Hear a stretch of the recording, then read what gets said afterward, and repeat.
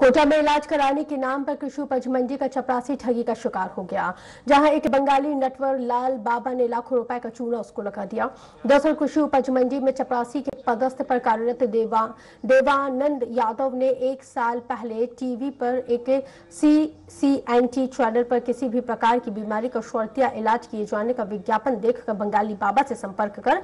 पुत्र की बीमारी की समस्या को बताया। जिसके बाद बंगाली बाबा ने इलाज के नाम पर देवानंद यादव से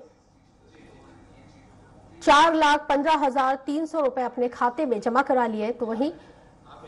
रुपए को लेकर पुत्र की मौत का डर दिखाकर बाबा धमकाने लगा। इसके बाद देवानंद यादव ने थाने में शिकायत की है, जिसके बाद पुलिस ने बाबा के खिलाफ मामला दर्ज कर जाँच को शुरू कर दिया।